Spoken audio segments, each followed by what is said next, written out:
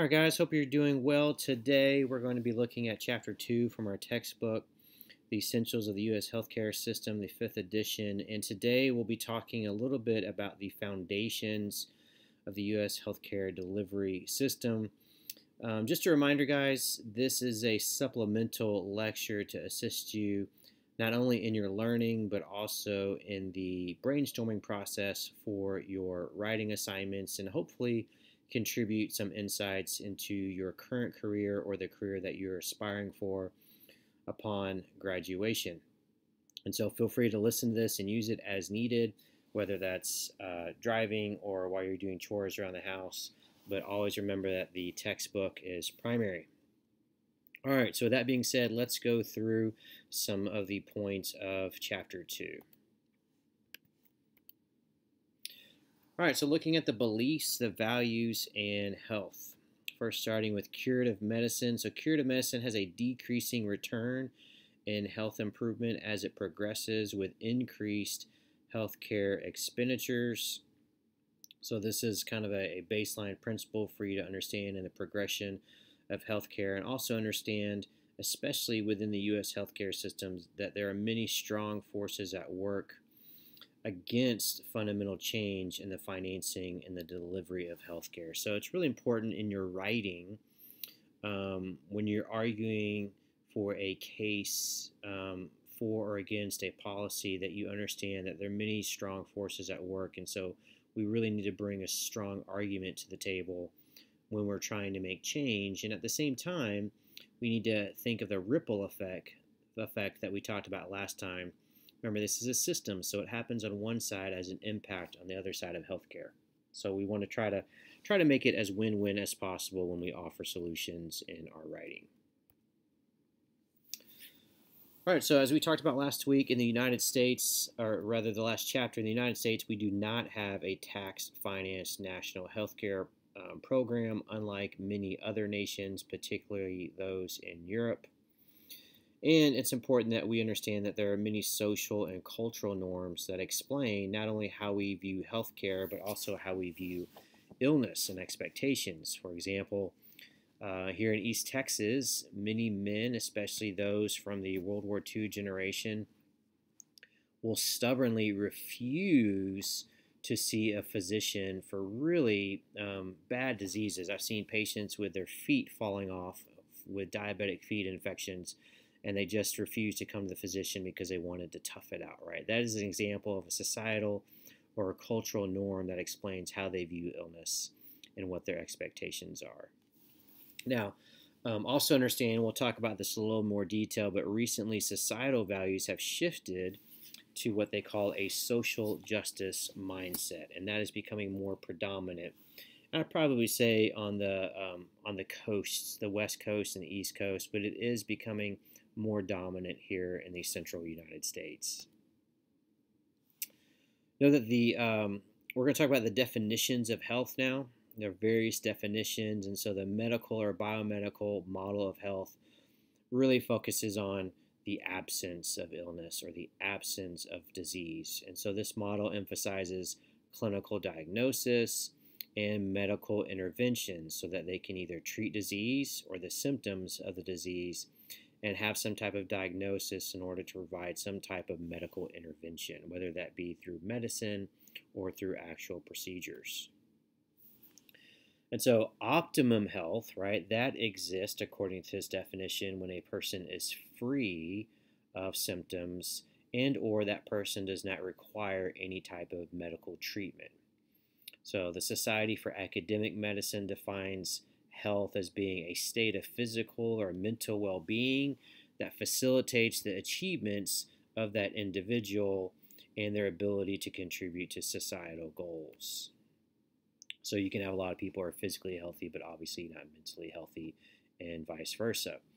And so if we look at the bio-psychosocial model of health, um, we see a definition from the World Health Organization, also known as WHO, and they define health as being a complete state of physical, mental, and social well being, not merely the absence of disease. And I'd say that's probably a much more well rounded definition given the rise of mental health disorders, especially in the United States.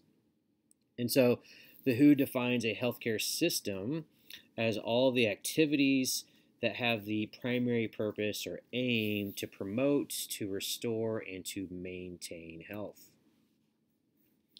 So, what is a holistic health approach, right? This is where we're looking to treat the whole person, uh, often incorporating alternative therapies. There are physical, mental, social, and spiritual aspects. And I think for us as Christians, there's many examples of this in Scripture on how the spiritual state of our souls can um, affect our body and our mind. And according to the lecture in the textbook, there's lots of literature that shows that religious and spiritual beliefs actually have a very positive impact on overall well being. In fact, there's lots of research to show that people who regularly attend service and worship in small groups actually live longer and score higher on mental health and have a higher ability to handle adversity. And so it's very, uh, very well researched and understood. And so uh, your spiritual beliefs can affect the incidence, the experience, and the outcome of even the most basic and most common of medical problems. And so illness is identified by a person's perception and evaluation of how he or she is feeling, whereas disease is going to be based on a professional evaluation, and those two don't always necessarily align. Uh, they can be different. And so it's possible to have a disease without feeling ill, and it's possible to feel ill without necessarily having disease. And so when we look at disease, there are several classifications, right? We can have an acute disease, which can be very short in duration. It can be relatively severe, but most of the time it's often treatable, right? You have a what they call an MI or a myocardial infarction or a decreased kidney function, right? This is where the healthcare provider can do certain things to treat that. Then we have subacute, where there are some acute features, and there can be what they call post acute treatment after discharge, where things happen afterwards. And of course, there's chronic, which is uh, greater in length, where it can be maybe less severe, but maybe an acute situation is still bothering them, it's troubling them, it will not go away. and so it is long and continuous in duration and it can, can progress and lead to other comorbid conditions where it can be somewhat controlled but still lead to problems. For example, a person can have a chronic condition um, that can lead to other complications like asthma, diabetes, or hypertension. So, someone who maybe has diabetes can progress to have um, cardiovascular disease. So, what's quality of life? This is going to be something that we see a lot in healthcare, whether you are in management, in a biotech or pharmaceutical industry, or a hospital manager. Quality of life is going to be a popular term. This is used as an indicator of whether or not an individual, so it's the, the person, the individual's perspective, whether or not they're satisfied with the experiences that they're receiving uh, in their healthcare. Are they comfortable? Are they be treat, Are they being treated with respect? Is their information being um, held following privacy laws or HIPAA? Do they feel safe and secure?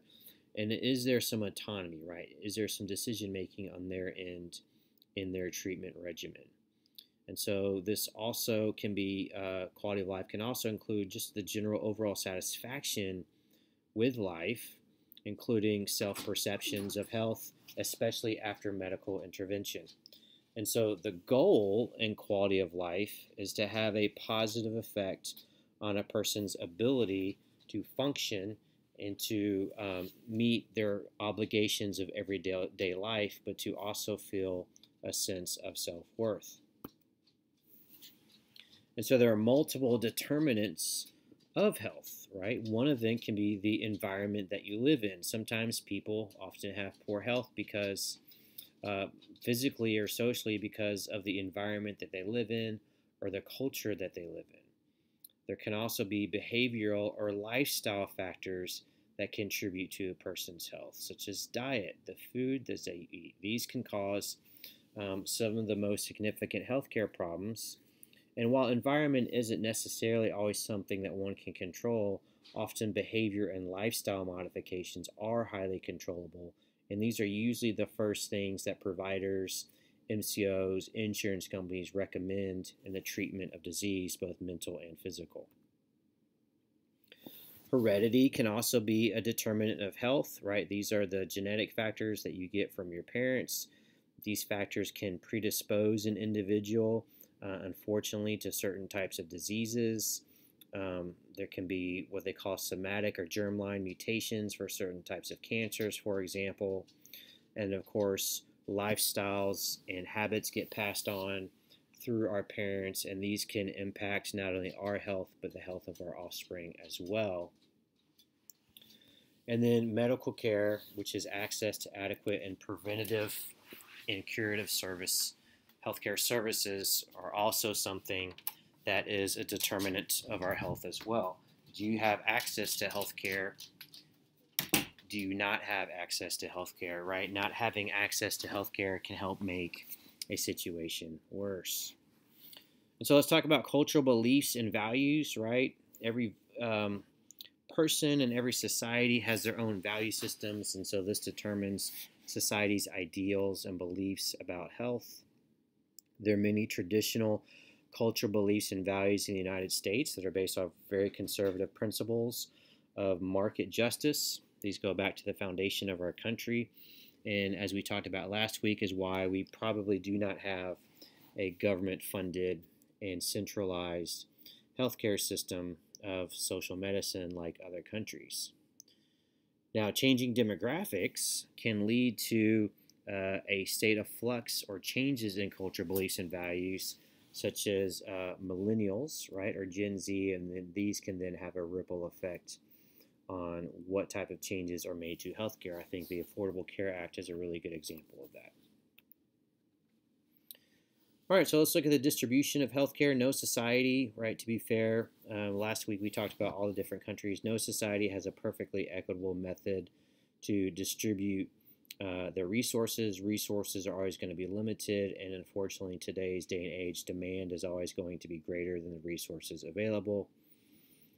Um, each country is going to have their own perspective due to culture on how they want to allocate those resources, right? And so some may be more generous than others because of their culture, while others may be less generous on the perception of resource allocation. And this is fueled by values and belief systems. And so we'll talk about this a little bit more, but these uh, perceptions of what is equitable access to healthcare, these are addressed by the theories of both market justice and social justice. All right, so what is market justice, otherwise known as the economic good, right? This is theoretically the fair distribution of health to the market in a free economy. And so this is where medical services are given or distributed on the basis of a person's willingness and ability to pay. And so looking at market justice, healthcare is an economic good, right? And it's governed by free market forces. Individuals, again, theoretically, are responsible for their own achievements, and people are making, again, in theory, rational choices in their decision to buy healthcare products and services. They're consulting with their physicians, who, in theory, are doing what's best for the patient, not them or their hospital. And these types of marketplaces work best without interference from the government, in theory. And so market justice is the production of healthcare, and this is determined by how much consumers are willing and able to buy at the current prevailing price. There are limitations to access, right? So think of your economics classes with demand side rationing or, or price rationing, and we'll talk about both of those more in the semester. And the focus is going to be on the individual instead of the collective responsibility for health. And if you see here in table 2.1, there's some really good comparisons between market justice and social justice as well. This would be something I would probably keep handy and use to study for the midterm exam. All right, so what are the limitations of market justice? Well, this doesn't necessarily rectify human concerns that are contributing to health, such as crime, illiteracy, and homelessness, right? These can significantly weaken the fabric of our society, and individual health issues can have a negative impact on the society of which they live. And this, this, this doesn't necessarily translate well in the healthcare delivery system. And so now there's social justice or the good society. And again, this is theoretical, and this would be uh, kind of the antithesis of capitalism or, or market justice. Uh, in this theory, we have the equitable distribution of healthcare and the viewpoint that, well, this is society's responsibility. And so, in this perspective, it's best when a central agency, like a government, is responsible for the production and distribution of healthcare. So, like the UK model would be closer to this than the United States. Under this model, they see healthcare as a social good and they believe that this should be collectively financed and available to every single citizen, regardless of income. And so the principles that fall under social justice are that healthcare should be based on need as opposed to cost, the viewpoint that there is a shared responsibility for health, right, because there could be many factors outside a person's control that could have brought on the condition. And there's the principle that there is a belief that there's an obligation to the collective good. And by doing so, um, you're taking into consideration that an individual's health does affect the entire community. So it's in your best interest, according to this theory, to make sure that everyone is healthy because it affects you and the community that you live in. So the principles of social justice, they believe uh, under this theory that the government rather than the market can make rational and uh, plans and best decide the quantity of healthcare. So in this theory, there's the assumption that there's no personal interest, that there that it's being done completely logical and rational, and that it will be equally distributed amongst all citizens. And so in this process, there's rational plan or there's logical planned rationing or supply side rationing. We'll talk more about that, the different mechanisms of supply side rationing. but essentially the government is limiting the supply of certain healthcare services to minimize costs, but also to provide equality amongst those um, recipients. And the higher you get in the specialization of healthcare needs, the more rationing there is.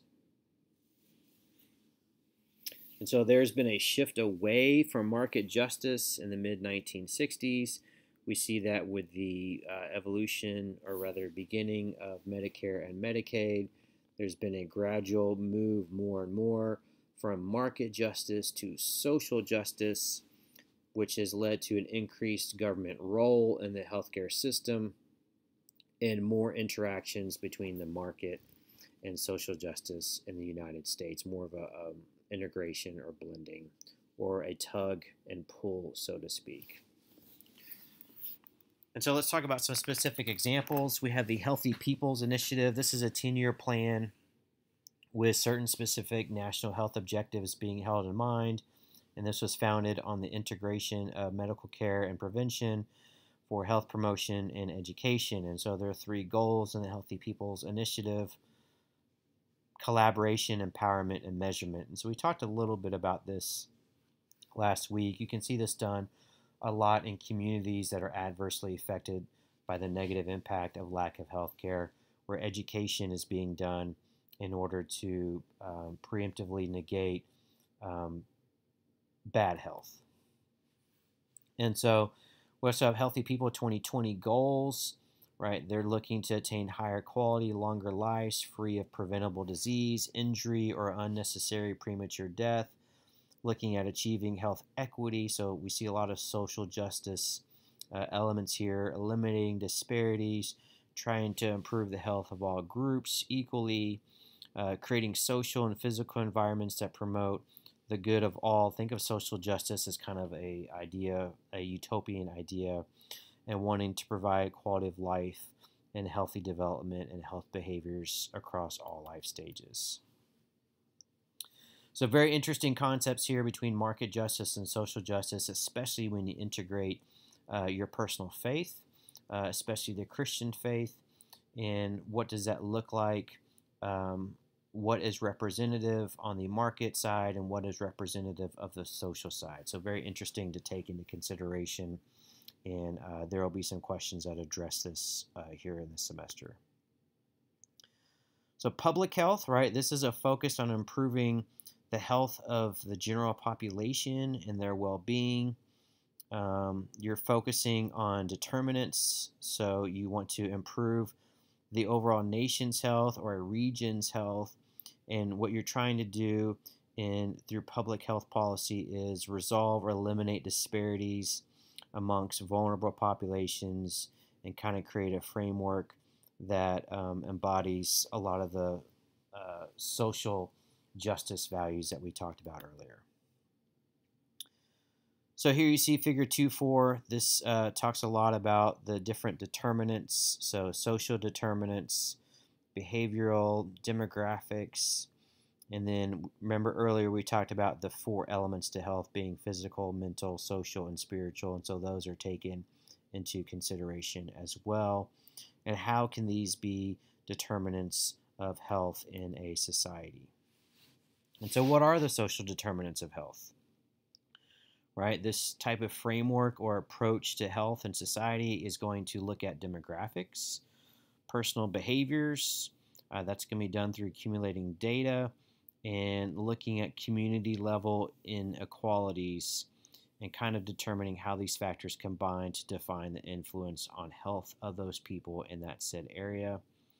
So some personal demographics, right, would obviously be race and ethnicity, also age, also sex, and how do these personal demographics directly contribute to vulnerability levels? So, for example, um, in prostate cancer, you would have African American men and Asian men are much higher risk of developing prostate cancer, and if those patients become metastatic in their prostate cancer, they have a much shorter life expectancy. So a public health policy might be, if, if that is increasing, is to provide education to those communities to maybe do preventative screening up front to minimize the cost associated in caring for those people and also to maximize life expectancy.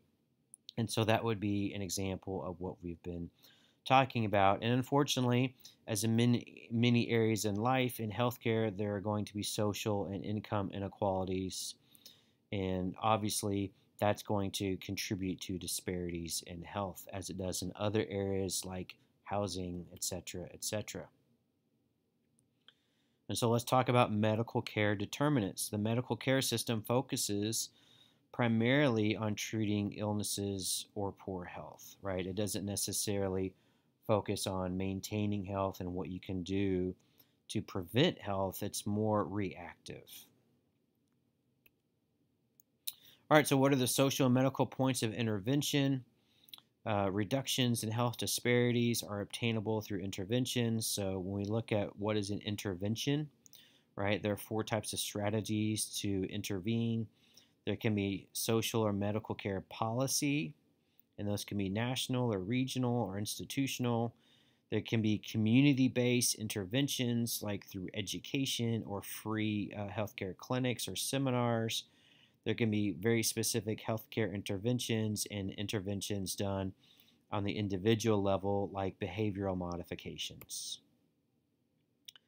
So, policy interventions, these are basically going to be public policy that directly focuses on the welfare of uh, the nation or region or city. Like we said, there are community based interventions um, like education. So you see here, uh, neighborhood poverty would be a good example of a community based intervention because poverty can impact the level of health care one is able to obtain. There can be healthcare interventions. So, an example would be using what they call an EMR, electronic medical record, or an EHR, electronic health record, to coordinate care for populations that are known to have multiple chronic and acute conditions. So, EHRs or EMRs are really great ways to track, um, coordinate, compile data to create really reasonable um, healthcare interventions. And of course, as we talked about, there are individual level interventions like doing behavioral modifications in order to positively influence health. So, like not smoking to reduce lung cancer, or um, having daily exercise in order to reduce obesity and diabetes. And so, in conclusion, for this chapter, folks, the healthcare delivery system in the U.S. is driven by the medical model, which emphasizes illness rather than wellness, um, or as I like to say, more reactive than proactive. And the holistic concepts of healthcare, along with preventative and health promotional efforts, need to be adopted in order to significantly improve the health of Americans. However, whether you're using the social justice model or the market justice model or a combination thereof still has yet to be determined. And so improvements in health are going to require not just uh, governmental or regional or community initiatives, but they're going to require individual responsibility as well, working together as a community and looking at initiatives to work together to find um, improvements in health for all individuals. All right. Thank you, friends, and uh, thanks for a great week, and look forward to week two.